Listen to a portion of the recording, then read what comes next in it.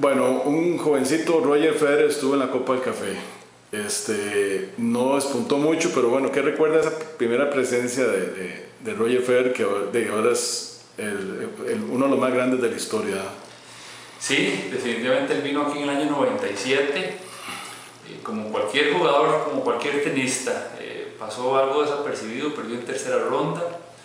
Eh, no, no, llamó tanto la atención. El año siguiente, en el 98, llegó a ser número uno del mundo en juvenil. Y por supuesto, después de eso ha sido el más grande tenista que ha pasado por la historia. ¿Qué recuerda esa participación de él? ¿Recuerda algún partido en especial o alguna, alguna anécdota con el Absolutamente ninguna. O sea, es como tanto... Usted... desapercibido, jugó en la cancha, parece en la cancha 2 o 3, de las canchas anexas, ni siquiera le tocó en el estadio. Eh, ganó dos rondas, sí, buen, buen tenis, pero era un muchachillo con cola, pelo largo con colita, siempre con una vincha eh, se veía habilidoso, pero de todos los tenistas que vienen a la Copa son habilidosos.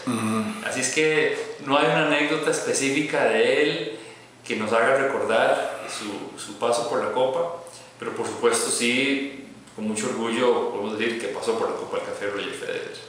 Totalmente, es increíble lo que ha hecho, cómo se ha logrado mantener física y mentalmente en, forma eh, óptima para poder competir a ese nivel. El tenis ahora es un tenis mucho más rápido, más explosivo. ¿A qué lo atribuye, Kenneth?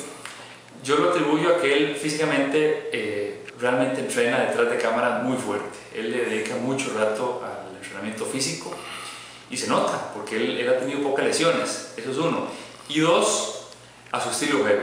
Él, tiene un juego muy natural, muy fluido, no le exige tanto al cuerpo, la, la, bola fluye más, él parece como que está bailando baleta en la cancha y eso le, le, favorece porque a través de los años ha tenido poca lesión. Él. Más bien él se lesionó, la última lesión de la rodilla fue bañando los higos en la tina, no fue ni siquiera jugando tenis, ¿verdad?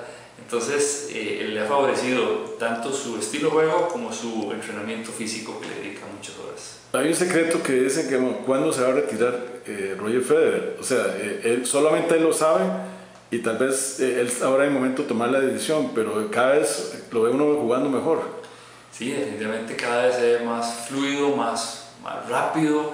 Él se ve que tiene una estrategia ahora de jugar puntos un poquito más, más rápido, no, no estar de fondo tanto tiempo, pero aún así está muy sólido de, derecha y de revés.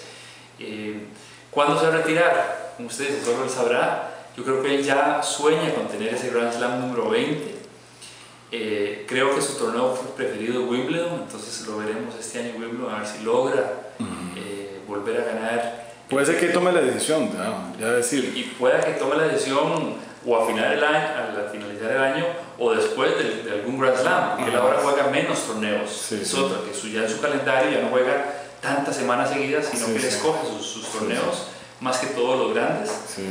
Entonces yo creo que en cualquier momento él podría decir, mejor me retiro, mejor me retiro en la cima y hasta ahí lo veremos. Eh, ¿Cuál es la, la, filosofía de él como jugador? O sea, que, que, le transmite a las nuevas generaciones que sí se puede y que, y que hay cosas que se pueden lograr en el tenis. Pues primero practicar y entrenar fuerte. Él, él, él, entrena y practica muy, muy duro, la verdad. Y eso es lo que la gente tal vez no se da cuenta. Entonces ese, ese trabajo él, él refleja y lo transmite a las nuevas generaciones. Y luego la actitud, él es un caballero dentro y fuera de la cancha. Un caballero, pero no es ser ultra competitivo, él no le gusta perder y se nota en la cancha cuando está de malas, cuando pierde algunos puntos.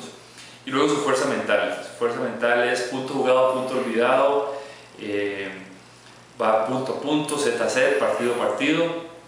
Entonces, esos tres factores son tres factores que le transmite a las, a las nuevas generaciones.